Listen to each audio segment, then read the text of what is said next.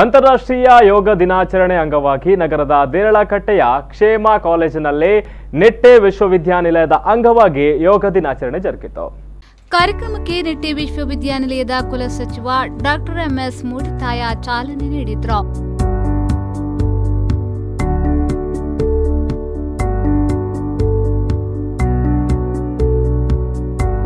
ಈ ವೇಳೆ ಮಾತನಾಡಿದ ಅವರು, ಸಂತೋಷದಾಯಕ ಮತ್ತು ಆರೋಗ್ಯಯುತ ಜೀವನಕ್ಕಾಗಿ ದಿನನಿತ್ಯ ಯೋಗಾಭ್ಯಾಸ ನಡೆಸುವ ಅವಶ್ಯಕತೆ ಇದೆ ಎಂದು ಅಭಿಪ್ರಾಯಪಟ್ಟರು.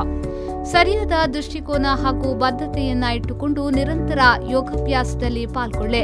ಜೀವನದ ಸತ್ಯವೊಂದೇ ಸಾವು, ಅದರ ನಡುವಿನ ಜೀವನದ ವಿಶ್ಲೇಷಣೆ ಅತಿ ಅಗತ್ಯ ಎಂದರು.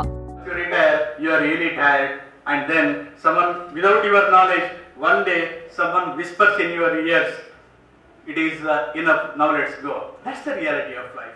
And therefore, if you want to lead a very happy and healthy life, I said happy and healthy life. Health doesn't mean, and if you just have uh, health, you can't be happy. Now, you need both the body and mind control.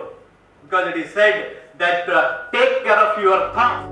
ಕಾರ್ಯಕ್ರಮದ ಅಧ್ಯಕ್ಷತೆಯನ್ನ ಕ್ಷೇಮ dean doctor Satish Bhandari ವಹಿಸಿ ಮಾತನಾಡಿದ್ರು It is celebrated all over the world, more than 170 countries celebrating. We should thank our Prime Minister uh, Sri Narendra Modi who started this uh, program three years back and you know, it's caught up in the whole globe. I think people have realized the importance of yoga. It's not, most of us we mistake it for uh, various postures and, and uh, exercise. It's not only a posture, it has got a lot of things to do. ಈ ವೇಳೆ ಕ್ಷೇಮ ಆಸ್ಪತ್ರೆಯ ವೈದ್ಯಕೀಯ ಅಧೀಕ್ಷಕ doctor Hiremath ಮುಖ್ಯ ಅತಿಥಿಯಾಗಿದ್ರು. ಇದೇ ಸಂದರ್ಭ ನಿಟ್ಟೆ ವಿಶ್ವವಿದ್ಯಾನಿಲಯದ ವೈದ್ಯರು, ವಿದ್ಯಾರ್ಥಿಗಳು ಹಾಗೂ ಸಿಬ್ಬಂದಿಯಿಂದ ಯೋಗಾಭ್ಯಾಸ ನಡೆಯಿತು. ಡಾಕ್ಟರ್ ರಶ್ಮಿತಾ ಶೆಟ್ಟಿ ಮತ್ತು ಸೀಮಾ ಕಾಡೋಸಾ ಯೋಗ ತರಬೇತಿಯನ್ನ ನೀಡಿದ್ರು.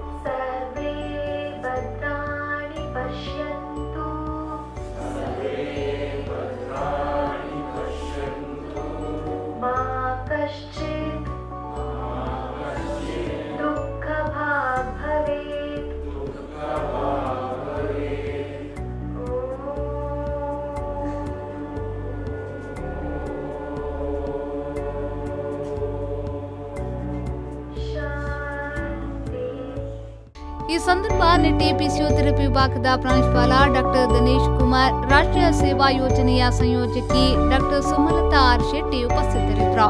Arif Kalkata V four news twenty four seven Ullal